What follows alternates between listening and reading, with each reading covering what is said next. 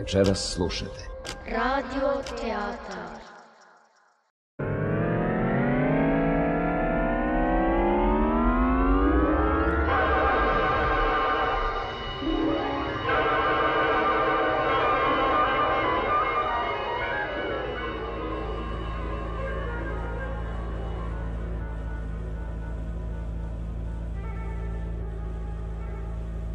Pogledaj onaj oblak. Liči na velikog belog ovna. Verujem, verujem. Samo bezbroj puta sam te molio da mi ništa ne pokazuješ dok vozim. Zar hoćeš da se desi neka nesreća? I ja vozim. Znači znam da se jedan trenutak može pogledati sa strane ili gore, čak i nazad. Drum je ravan, slobodan. Čini ti se sve drugčije kad si za volanom, molim. Podiži glas. Dobro, nemoj da pogledaš oblak. U redu, a nije ni važno. Više ga uostalom ni nema. Mnogo je gore što si zaboravio naš dogovor da pokušamo da letujemo bez nepotrebnih prepirki i hvatanja za reč. To je bio tvoj predlog. Ali ti si pristao. Pristao što ne bih pristao. Samo treba da znaš, čovjek na odmor odlazi sa svojim živcima, sa svojim karakterom. Sebe ne ostavlja kod kuće. Biće nam onako kakvi smo. Ne zavaravajmo se. Ja se i ne zavaravam. Ali malo uzdržljivosti neće nam škoditi. Ti veoma dobro znaš da ja ne volim tvoju letnju romantiku. Odjednom si vidjela neki oblak, uočila da liči na velikog belog ovna, a priroda te uopšte ne zanima, ti je mrziš. Ko može da mrzi prirodu? Ja je mrzim. Volim da je gledam kroz prozor. Kad sam ja deo pejzaža, onda mi uvek nešto smeta. Žuli me neki kamen na plaži, napada me obad ili mi je prosto dosadno. Posle ovih izjava najbolje je da okrene škola i da se vratimo kući. Osjećat ću sve vreme neku krivicu što te muči. Ti si to sada sve izmislio.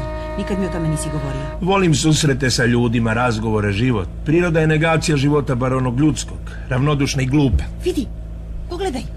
Šta je sad opet? Pogledaj onog čoveka. Pa, Nešto nam pokazuje. Natara rukama i uopšte vrlo je uzbuđen. čini ti se, maše nam, pozdravlja Ne, ne, ne, nas. Hoće da ga povezemo, zaustavlja nas. Ne pada mi ni na pamet, suviše smo opterećeni. Prepuni prtljaga. Ponela si cijelu kuću. Pričekaj, kud juriš? Dogovorili smo se nikakvi autostoperi, nikakve bolećivosti. Bio je vrlo uzbuđen. To nije nikakav turist. Zar nisi video? Ozbiljan odrastao čovek. Bez stvarnog razloga ne bi tako uporno zaustavljao kola. U ostalom sada je kasno. Naći će već nekog drugog. Tako svako kaže. I onda čovek ostaje na drumu. Hoćeš da se vratimo? Gdje da okrenem? Da napravim prekršaj? Da nešto naleti na nas? Šta hoćeš? Da, kasno je, ali to je nečovečno. Otkuda znaš šta je čovek hteo? Ne znaš i ti. Bio je u nevolji, očigledno i to veliko. Imaš maštu. Ovoga puta se ne varam. Jasno sam ocenila situaciju. Najprije sam mu ugledala oči, pune brige da li ćemo ga primiti ili ne. Jednog trenutka kao da se ponadao da ćeš stati. Onda kad je shvatio da prolazimo, odjednom panika, prava panika. Kao da mu je sve propalo. A da smo stali. A da smo stali.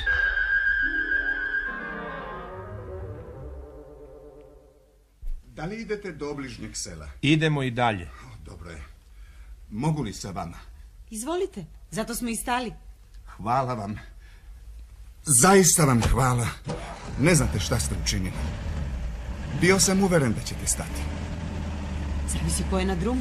Imali ste sreću. Prošlo je nekoliko kola, već sam mislio da neću ni krenuti, a kamoli stići. Onda ste naišli vi. Bio sam od prve uveren da ćete stati. Po čemu? A išli ste nekako mirno, ulivali poverenje. A kada sam ugledao lica... Lice? Da, ne izgledate kao ljudi koji bi mogli proći tek tako. Verujte, često smo prošli. A zašto ste danas stali? Ne znam, verovatno što nisam bio raspoložen da slušam svoju ženu o tome kako je nečovečno što nisam stao. Znači, stali ste slučajno? Da, danas mi nije bilo do pretpostavke šta bi se sve moglo desiti da vas nisam primio. Ovako je bilo jednostavnije. U svakom slučaju, hvala. Zahvalite moje ženi. On voli da se pravi gori nego što je. Još jednom hvala. Nema na čemu. Malo pre ste rekli da ne biste svakog primili. Ja ne bi. A od čega to zavisi? Zavisi, eto, od opšteg utiska. Hoćete da kažete da biste stali samo ako vam se učini da pred sobom imate poštenog čoveka? Tako nešto. Znači, ja odajem utisak čestitog čoveka. Da, A da li to znači da imam lice koje se pamti? nisam vas toliko podrobno razgledao. Vi bez svake sumnje ulivate poverenje. A nisam na to mislio. Pitam samo, da li se pošteni ljudi pamte? Mislim, nema pravila. Recimo, kada biste sutra vidjeli moju sliku u novinama, da li biste znali da je to onaj koga ste juče poveli svojim kolima? Svakako. Vi imate vrlo izrazite plave oči. Nos vam je markantan. Ne viđa se često. Uopšte ne ličite na naš svet. Da li ste vi iz ovih krajeva? Znači, zapamtili biste. Zatim vaše usta. Usta su vam... Dosta sa tim opisom. To je čoveku neprijatno. Kako ne shvataš? Je li vam izbilja neprijatno? Ja sam kriv za ovaj neuobičajeni razgovor, oprostite. Moramo najzad o nečem pričati, samo o čemu? Ne znam. Oprostite što menjam temu, ali kojom brzinom vozite? Oko 90. Znači, u obližnje selo ćemo stići za nepunih 15 minuta. Koliko ima do sela? Nešto preko 20 km. A koliko najbrže voze vaša kola? Preko 130. Međutim, moj muž je oprezan. Koliko maksimalno idu vaša kola po ovakvom Ja drumu? Uvek vozim gotovo maksimalno. Zar ne osjećate vibracije? Drum prividno izgleda ravana, u stvari je blago talasast. Ipak pokušajmo malo brže. Odmah ćete osjetiti. Pa naravno, ništa se ne osjeća. Da li vi osjećate? Ne. Opet ništa. Drum je ravan kao gledalo. Nije tačno. Osjeća se veoma sumnjivo treperenje. Oprostite, da li biste mogli da ne smanjujete brzinu? Vama se izgleda žuri. Da, nažalost, veoma. Ako ne stignem za najkraće vreme. Kada treba da stignete? Ne smijem da zakasnim. Da? Možda bi bilo bolje da pustite radio, ili ne. Kad počnem da razmišljam o tome šta se može desiti ako ne Kako stignem... da vam pomognemo? Ne možete mi pomoći više nego što mi pomažete. Ja sam vam vrlo zahvalan. Stići ćemo brzo. Nadam se na vreme. To je valjda isto. Ne, nije isto. Možda je već sve gotovo. Prekasno. Žao mi je što sam vas uznemirio, što sam vam pokvario raspoloženje i što ću vam možda doneti nove nevolje. Nove nevolje? Da, nove. Kako to mislite? Šta hoćete time da kažete? Molim vas, nemojte da usporavate. Ako treba, ja ću i stati. Zamolit ću vas da izađete iz kola kao što ste ušli. Nemojte, nemojte da tražite od mene da vam sve kažem. Ne mogu, ne smijem. Ali vi nećete biti krivi. Kako bismo mi uopšte mogli biti krivi? Pa rekao sam, nećete Ma biti slušajte, krivi. o kakvoj krivici vi uopšte govorite? Mi smo išli mirno ovim drumom, propisnom Da, stranom, propisnom brzinom. Da, krivi ne možete biti u punom smislu reči, ali... Ali? Od toga da li ćete krenuti zavisi jedan život.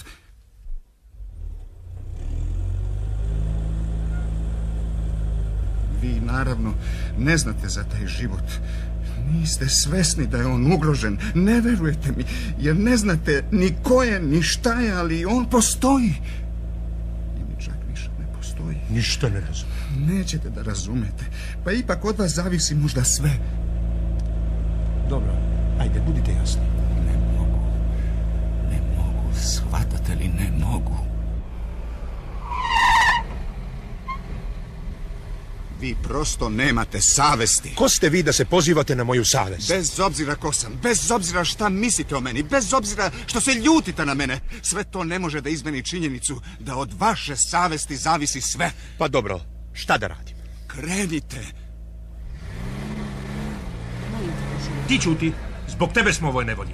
A vi, vi ste nasilnik. Prostite, moj muž je kad kad ne trpeljiv. Nije potrebno da me braniš. A od vas zahtevam da budete jasni ili da napustite ovako. Ti na to nemaš pravo. Imam ja pravo na sve. Šta hoćeš da ti kaže čovek? Dosta je rekao. Nije rekao dosta, rekao je suviše. Što nije čutao? Zašto čoveče niste čutali? Bilo mi je važno da vozite što brže. Ja sam to morao da postignem. Ja čak moram da vas zamolim da pokušate još brže. A umalo niste postigli da vas izbacim. Shvatite, ja sam prvi put u životu u takvoj situaciji. Prvi put? Da, prvi put i nadam se posljednji ako uopšte ostanem živ. Ne, ne verujem da ću moći da preživim ako se to desi. Neće se desiti. Otkud znate? Naravno da ne zna, ona vas samo glupo teši. Šta mogu da učinim za vas? Sve vreme se spremam da vas nešto zamolim. Šta? Mislim da vam to neće biti teško, a meni biste učinili veliku uslugu. I ne samo meni. Uostalom, ako mi učinite, sve ćete saznati. Vi, dakle, idete na odmor. Da, veoma daleko od grada, daleko od buke, od automobila, od ljudi. Idemo na sever u šume. Da li treba da stignete na određeno mesto tačno u određeno vreme? Naravno, trebalo bi da stignemo pre mraka.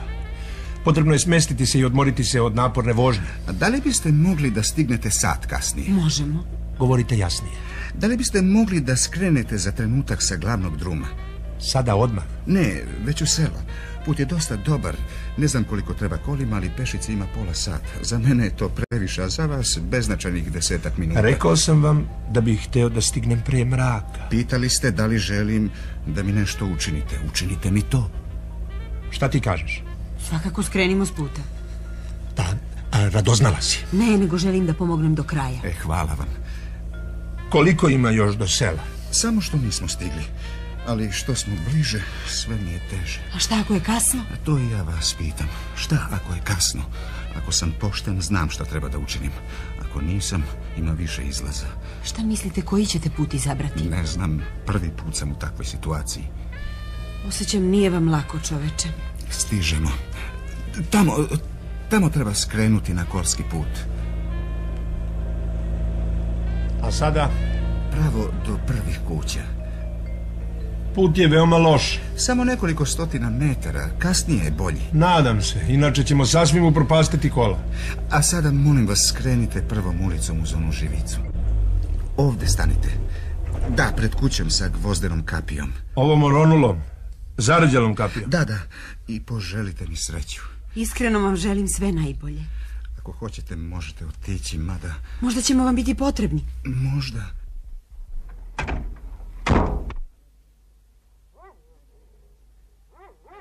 Ne, ne smem da uđem.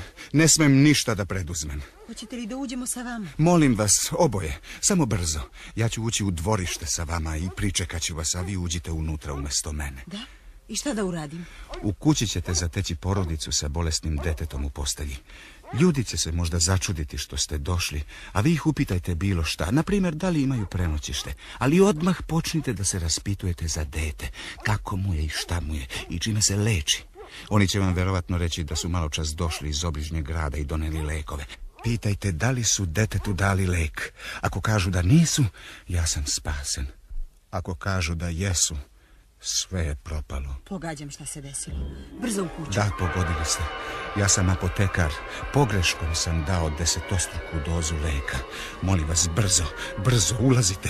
i Javite mi, javite mi šta se desilo. Smeješ? Pa smijem se toj naivnoj priči. Moje mogućnoj priči. Mislit ćeš da si nedužan, živećeš spokojne savesti, a bit ćeš možda vinovnik nesreće kao da si u njoj neposredno učestvovao. U redu, mogao bih se složiti s tvojom pričom do ulaska u kuću. A ja ću je dalje nastaviti. I moja priča je mogućna isto tako kao i tvoja. Ako ništa drugo, dokazat ću ti da kao muškarac imam više duha. Tvoja pouka je preterana i bolećiva, a pomalo me i vređa, jer misliš da nemam savesti.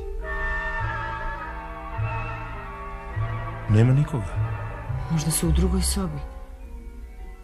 Ni tu nema nikoga. Verovatno nisu još stigli. Ili se desilo najgore i otišli su da traže pomoć. Čudnovata kuća. Da, malo je neobično. Kao da u njoj odavno niko ne stanuje. Nema tragova života. Postelja uredno nameštena. Sve istovremeno i čisto i puno prašine. Kao da se ništa nije dešavalo danima, godinama. Nema deteta, nema roditelja, ničega nema. Sve mrtvo. Ja se pomalo bojim. Nemaš razloga da se bojiš. Zovi našeg saputnika. Možda je u svojoj zbunjenosti pogrešio kuću. Ako budete činili sve što vam ja kažem, neće vam se ništa desiti. Ali ako ne slušate moje naredbe, Šta hoćete od nas? sada ja postavljam pitanja. Sada sam ja gospodar situacije. Nisam se tome od vas nadala. Tako pošteno lice, čestit izraz. Ajte, ostavite se gluposti. Gde vam je novac? Stvari od vrednosti. Za sve si ovo ti kriva. Ti tvoja bolećivost, tvoja mašta, tvoje meko srce. Po čemu sam ja kriva?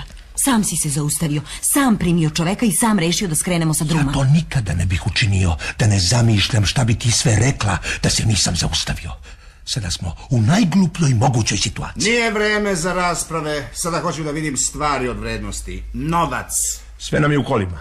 U tom slučaju prošetat ćete se u mojoj pratnji do kola. Nemojte ni pokušavati da nešto preduzimate. Biću oprezan, verujte. Da, moram vam samo reći da u posljednje vreme nisam nikoga štedeo. A lovina je bila bogata. Verujem vam. Da, da, vi verujete pričama, u to sam se uverio. Ali kako nije preporučljivo da izlazim sa vama dok ne padne mrak, za svaki slučaj ostaćemo u ovoj prostoriji. Za to vreme možemo i pričati. Bilo bi zaista dosadno da ćutimo. O čemu da pričamo? Gospođo, zapamtite, niste na čaju kod prijateljice. U mojim ste šakama. Znači, željeli biste da se uplašim? Vaša situacija je, uverava vas, vrlo ozbiljna. Mogu vam uzgled predočiti šta vam se sve može desiti. Recimo, ako vaš suprug pokuša u trenutku kada mu se učini da mi je popustila pažnja da skoči na mene. A ne bojte se, on se na to uopšte nikada ne bi usudio. Šta kažeš? Ja? Znači imate namjeru da me napadnete? Ne, nemam. Ali moja bi dužnost bila da to učinim. Uostalom, bit ću iskren. Pokušat ću sve što je u mojoj moći da izmenim ovu glupu situaciju u kojoj sam se našao nasred ruma. Ako vam popusti pažnja, Baš si čudan. Umjesto da si nešto stvarno preduzeo, ti pretiš. Ko još saopštava drumskom razbojniku, oprostite za ovaj izraz, da će nešto preduzeti i komu skreće pažnju da bude oprezan. Ja vrlo dobro znam šta si ti u stanju, a šta nisi. Ali sam htjela da mu oslabim pažnju, no tebi je kao i uvek važnija tvoja čast. Vaša supruga je u pravu. To se ne radi tako. Trebalo je da se u trenutku kada se ja okrenem, da bih otvorio vrata, bacite celim telom na mene. Ja bih se zbunio, verovatno ispustio revolver. Istina, možda bih se sljedećeg trenutka snašao, ali u ravnopravnoj bici, ko zna, kako bi se sve završilo. Čak verujem da bih ja izvukao deblji kraj, jer vi ste očigledno bar dve kategorije iznad mene. Ja sam Velter, a vi? ne znam. Koliko imate kilograma? Oko 80. Čoveče, pa vi ste gotovo teška kategorija. Oh, kakva greška. Ali sada je kasno. Proigrali ste priliku. U međuvremenu moram vas upozoriti još na neke stvari. Slušajte me dobro. Slušamo vas. Vrlo ste zanimljivi. Shvatite da ja nisam tu da vas zabavljam. Već? Nije mi stalo da ostavim na vas utisak, već da dođem do novca. A šta će vam novac? To mogu ja vas da pitam. Mislite da imamo iste potrebe? Da. Ja baš ovih dana mislim da pođem na odmor. Samo nisam se još odlučio da li ću na more ili u planine. Treba da pođete u planine. To je potrebno vašim živcima. Mislite? Naravno. Mora biti da ste veoma iscrpeni. Stalno ta napetost, neizvesnost. Zaista, ja gledam da se što manje uzbuđujem. I? Kako vam uspeva? Pa kad bi svi bili tako pristojni kao vi, bilo bi dobro. Ima ih koji vrište, jauču, kukaju, preklinju, pokušavaju bekstvo. Ma nemojte. I šta onda radite? Moram da se uzbuđujem. Primoran sam na grubosti koje u suštini ne volim. Da trpam maramice u usta, da vezujem svoje žrtve, da pretim, pucam u plafon. A šta? Ne pucate u telo žrtava? A, to je već moja lična Da, stvar. da, da, razumem, razumem. Znači, verovatno ćete na more. I mi ćemo. Možda ćemo se i sresti. Uostalom, kako ćete vi sada na more? To je opet naša lična stvar. Da li možda imate nameru da mi ne date sav novac? A znači moram da vam kažem sve do kraja. Pozajmit ćemo novac od prijatelja. Vidite, mi imamo prijatelje. Nemoj da ga uznemiravaš svojim pričama bezbednog čoveka. Misliš ti da je njemu lako tako usamljenom, odbačenom od društva, od zakona? Da, verujte, nije mi lako. Nema utešnu reč, nema topline, nema nežnosti. Vi me izgleda potpuno razumete. A ko vas je terao na taj put? Sami ste ga izabrali. Ko vam to kaže? Duga je to priča. Ispričajte mi je, molim vas, preklinjem vas. A, ne, ne, ne, ne pada mi ni na pamet. Baš ste bezdušni. U pravu ste, bezdušan sam. I srećan sam zbog toga. Ja se svetim društvu. Da, svetim se za sve što mi je učinjeno. Ali šta smo vam mi skrivili? Ne tražim pravog krivca. Svi ste vi krivci. Ja znam da ima nečeg u mom detinstvu što je predodredilo ovaj put, ali ne znam šta je i teško ću sam pronaći pravi razlog. Kada sakupim dosta sredstava, otići ću u inostranstvo najboljem psihijatru u Beč da saznam šta je to što me odvelo na ovaj mučni put otpadnika. Zašto ne odete do doktora Hajma? Izvanredan stručnjak. Niste čitali u posljednjem broju zanimljive nedelje? A kako to ne? Pa ja redovno pratim te poučne priloge. Verovatno će otići baš do njega. A šta ćete kada se izlečite? Ne, ne znam, sasvim sam bez perspektive. Jadan čovjek. Imate li kakav zanat u rukama? Sramota me da priznam, ali nemam. Ništa ne znam osim da pljačkam. Možda ću nastaviti sa razbojništvom. Pa šta ste onda uradili? Onda ću bar znati zašto to činim i bit će mi lakše. Čovjek je u pravu. Biće mu lakše. Ja se nadam. Vidite, ja se pomalo iz zadovoljstva bavim psihoanalizom. Možemo održati jednu seansu. Kako to mislite? O, Sve će biti po propisima. Vi ćete leći, zatvoriti oči i govoriti reči koje god vam padnu na pamet. Posle ćemo analizirati taj tekst. I možda ćemo nešto otkriti. Da, ali ne mogu da legnem. Kako ne možete? Pa ne shvatate, ako legnem, zatvorim oči, vaš muž može da skoči na mene, razoruža me i šta sam onda učinio? Da, da, šteta. Kako možeš čoveku da tako nešto predlažeš? Misliš li ti da je on lud? Lud! Vi mislite da sam ja lud? Ma ne, ma ne, nisam tako mislio, ne, verujte, on tako pa mislio. ne. To je samo uzrečica uobičajena. Pa zar niste i sami toliko puta rekli, on je lud? Da, ali ja sam u izuzetnoj situaciji. Ja kad kad osjećam da sam samo korak do ludila. Molim vas, ne spominjite mi ludilo. Jadan čovjek. Ne žalite me. Ne podnosim ni sažaljenje. Ne podnosim! Sve ću vas Ma pobiti! začuti jedno, molim te. Vidiš šta još možeš da učiniš. Prepusti sve tokovima događaja i uzdržavaj se. Čuti, U molim. tom slučaju će nam svima biti dosadno. I meni, i tebi, i našem... Kako da kažem? Uzdržite se, molim vas. Ne brinite vi za mene. Ali vama je potrebna briga. Mislite? Uverena sam. Eto da pokušamo našu psihoanalitičku seansu bez zamračenja sobe, bez ležanja i bez zatvorenih očiju. Gledajte me pravo u oči i govorite što god vam pada na pamet. Počinjemo. Žaba, Labud, gmizavac, senica, krokodil, češljugar, nosorog, rajska ptica, pauk. paun. Dosta. Sve mi je jasno. Šta vam je jasno? Sve ovo vaš slučaj. Vrlo je jednostavan. Vidite, ja sam vam sugerirala najstrašnija moguća stvorenja iz roda vodozemaca i gmizavaca. A vi ste odolevali toj navali sluzavi strahota i uporno nametali svet svojih pravih težnji, simbola lepote, nevinosti i dobrote. Vi imate neodoljivu potrebu da živite u miru i spokojstvu. To je vaša prava priroda. Da li je to moguće? Naravno, tako kazuje analiza. Jasan slučaj. Vidite, kad smo vas primili na glavnom drumu, vi mislite da smo se moj muž i ja prevarili verujući da smo primili poštena čoveka. Ne. Naš prvi utisak je pravi utisak. A sve ovo što se docnije dešavalo, to je laž i neistina. To je iskrivljena slika o vama koju vi namećete i svetu i društvu, a što je najgore i samom sebi. Vi ste oličenje poštenja. A bili biste najsrećniji da ste onaj mali apotekar koji radi u nekoj varošici decenijama i pošteno zarađuje svoj hleb. Možda. Ne? Sigurno. Niste vi slučajno izmislili tu priču o apotekaru. Ako celu stvar posmatramo dublje, koristeći se opet tekovinama moderne psihoanalize, onda će nam na kraju krajeva biti jasno da je ta izmišljena priča o apotekaru kojom ste nas namamili zapravo idealna slika vaših najdubljih težnji. Razmislite, zar nije tako? Priznajte. Pa da, ima nečega u tome. Ja uvek tom pričom namamim ljude u ovu napuštenu kuću. I uvek uspevate jer je pričate ubedljivo. Evo razmislite. Da li se uživite u tu priču? Da? Jeli? Sav sam u njoj. Na kraju verujem u nju. I prosto se začudim kad uđem u ovu sobu i ne zateknem bolesno dete. Postavi, znate, živo ili mrtvo. Tako je. Izgradio sam već čitavu taktiku. Nijanse. Nekada sam odmah ispričao priču čim uđem u kola. A vidite, ovoga puta sam izdržao gotovo do kraja. Kao tobož neću da kažem o čemu je reč, da bi taj jadni apotekar imao priliku da izbegne kaznu ako bi se desilo najgore.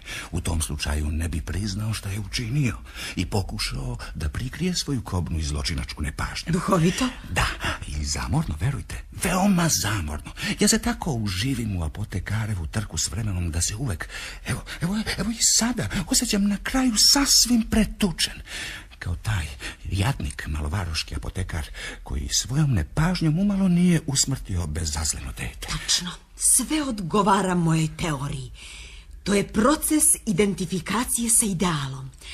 Ako nemate ništa protiv da posle ovih dragocenih iskustava nastavimo našu seansu. Sada, naoružani sa više podataka, napred ka cilju. Lezite, Evo odmah. zažmurite. Izgovarajte. Apotekar. Apotekar. Žrtva, Apotekar. žrtva, Apotekar. žrtva. Apotekar. Otvorite oči. Šta je sad ovo? Prevara! Kakva prevara, to je odmazda časti nad zločinom, triumf mudrosti nad podlošću. Ali to je podlo. Podlost poštenih veća je od podlosti otvorenih podlaca. O tom aforizmu nećemo razgovarati, silazi. Ja sa vama nisam bio grub i vi sam vam govorio. Dosta priča, one su vas i upropastile. Mi nemamo vremena, treba nastaviti put. Šta ćete sa mnom da uradite? Sudbina vam je vrlo jednostavna. Predat ćemo vas vlastima i oni će se pobrinuti za ceo vaš slučaj. Kako su takozvani pošteni ljudi u stvari grubi. Ne unosite u celu stvar nimalo romantike, mašte. O, sve je jednostavno, dosadno. Zar ne, gospođe? Nju ostavite na miru. Dosta ste mi vas oboje zagorčali posljednjih pola sata. Vaš muž nema mašte. Dosta! Recite bar vi nešto. Samo se usudi, neću ni glas da ti čujem. Kao što vidite, moram ćutati. Recite uprkos njemu. Dosta je svega izlazi. Znači, sa mnom je sve svršeno. Nadam se. Sme mi još nešto da vam kažem. O svom slučaju. Ja... Ne! Ne zanima me tvoj slučaj. Jedino što me zanima to je kada ćemo nastaviti put i stići u mir i spokojstvo šuma. Hoćete li moći da spavate iako ste uništili jednog čoveka? Hteo si ti nas da uništiš, pa? Mislio sam da vam ostavim polovinu novca, da podelimo bratski. Dopali ste mi se. Imao bih sažaljenja prema vama. Ti bi meni dao polovinu mog vlastitog novca huljo. I ti to zoveš bratskom podelom. Napolje, izlazi.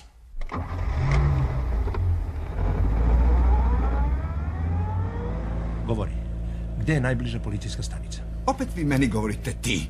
Neću da kažem. Naći ćemo je sami. Shvati da ti ništa neće pomoći. Bolje govori da ne trošimo više vremena na tebe.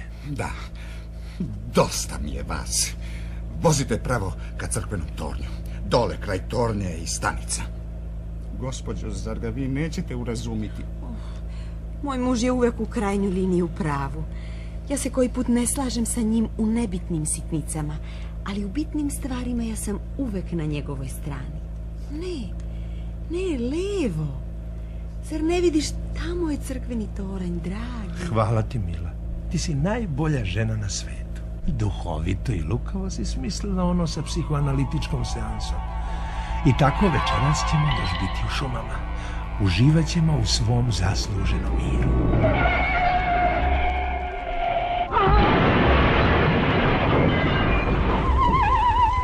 Ima li nekog živog? Ljudi! Čujete li me? A izgleda da je sa mnom sve u redu. Samo šta je s mojom ženom? Izgleda da je i sa mnom u redu. Samo sam se dobro udarila. Da vam pomognem. O, vi ste to.